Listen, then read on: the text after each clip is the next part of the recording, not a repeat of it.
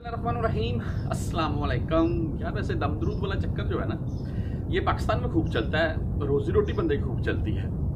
अच्छा इसमें ऐसा नहीं है कि हर नथु हत्तू बंदा, आपको पता है, पीर फकीर बना हुआ है, एक से दूसरी बात का पता नहीं है।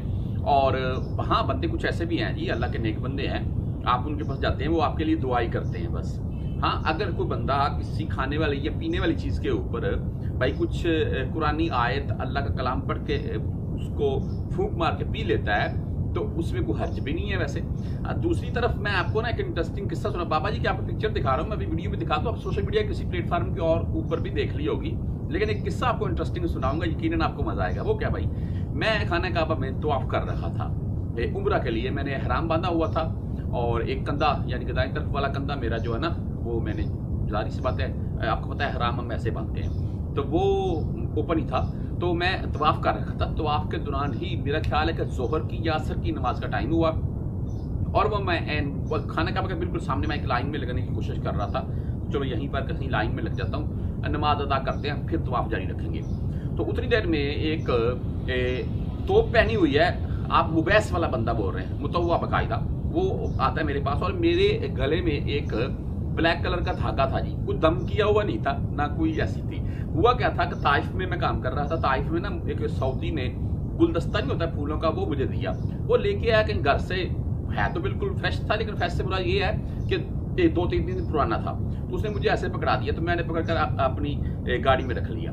तो वहीं पर पड़ा रखा बाद में ना वो जब सूख गया तो मैं फेंकने लगा तो उसके देखा था फूलों के नीचे एक ब्लैक कलर का धागा बांधा हुआ, डोरी टाइप था, बहुत खूबसूरत। उसका लॉक था ऐसे ऐसे पकड़ कर ऐसे डाले, लॉक लगा। मैंने ना ऐसे शौकिया तौर पर दो दिन इधर बांधा रखा, बाद में अपने गले में ऐसे लगा दिया उसको। तो वो मेरे गले में रखा जी, मैं वो आया मतलब उसने बोला ये शादा मैंने बोला, कभी वो फादी सभी, बस। उसने बोला, अभी इसको निकालो। मैंने बोला तई मैं उसको अभी खोलना खुल नहीं रहा है। उसके पास कुछ चीज़ नहीं थी, उसने चाबी नहीं होती लॉक खोलने वाली, चाबी ली। चाबी से उसको रगड़ रगड़ कर, रगड़ रगड़ कर इधर से काट कर मेरे हाथ में रखा। मुझको बोला हाथ शिरक, तारी मर्रा माँ से भी रखा। मैंने बोला ताई मैंने अपनी ना अहराम की या वो जो मेरे पास था पर्स वगैरह, उसमें रख लिया। अच्छा जी, नमाज़ खत्म हो गई, मैंने तो आप कंप्लीट किया, मैंने सफ़ा मरवा कंप्लीट किया तकरीबन। सफ़ा मरवा के बाद मुझे एक अजान और हो गई। मैं वहीं पर सफ़ा मरवा से जब हम निकलते हैं खाना काबा, यानी कि तवाफ़ वाली जगह की तरफ़ तो उस उधर ही था मैं तो मैं उधर ही वो नमाज़ अदा करने लग गया। पर वो नमाज़ मैंने अदा की तो मैंने सलाम जब फेरा ना तो वो बंदा मेरी दाएँ तरफ़ तीन चार बंदे छोड़कर उधर बैठा हुआ है। तो वो उस टाइम से मेरे पीछे था। उसने नज़र रखी हुई थी कि ये दोबारा तो नहीं डालता है। अगर मैं दोबारा डालता तो मुझे कंफर्म बात पकड़ता है, आपको पता है सऊदी अरेबिया में मैं मैं बीसों किस्से आपको सुना सकता हूँ, जो अपनी आँखों से देखे। ऐसे जैसे जो मैंने ये रिंग डाली हुई है, पाकिस्तानी है जी, उमरा की टिंडी हुई हुई है, कपड़े डाले हुए हैं, खाना का सामने बैठा हुआ है दो तीन रिंग इधर है दो तीन रिंग इधर है। सॉरी हाथ में तस्वीर पकड़ी हुई है दो तीन बंदे साथ में बैठाए हुए हैं। और इतनी ज़्यादा एज भी नहीं थी, उनकी चालीस, पैंतालीस के करीब होंगे। तो बंदों से बातचीत कर रहे हैं तो छुटते हैं दो, उसको बोले ताल।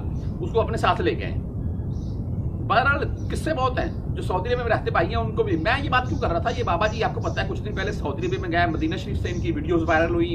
लोगों ने भाई, मैं बोलता हूँ, करोड़ों के हिसाब से इनकी वीडियोस के ऊपर लाइक मारे हैं। मुझे खुद से इनकी वीडियो बहुत पसंद आई। लेकिन ये जो चक्कर चल रहा है, अभी दम द्रूद वाला, ये होगा क्या? ये पाकिस्तान में तो ठीक था। ये करते रहे, ठीक है। मुझे इससे कोई इतराज नहीं है। लेकिन आपको पता है, ये हज के लिए खसूसी मेहमान बनेंगे सऊदी गवर्नमेंट के। तो जब ये खसूसी मेहमान बनेंगे सऊदी गवर्नमेंट के तो ये दमदरूद वाला जो काम इन्होंने किया हुआ है, जब ये वीडियो उनके सामने आएँगी तो वो इनको क्या बुलाएँगे? अगर बुलाएँगे तो फिर भाई इनको अच्छे से समझाएँगे भी। तो बहरहाल, अल्लाह ताला की ज़ात हर मुसलमान की हिफाजत करे, और इसके मतलब आपकी क्या राय है? इनके ये जो दम दरूद वाला चक्कर है मुझे अपने कमेंट में यानी कि मुझे कमेंट में ज़रूर बताइए।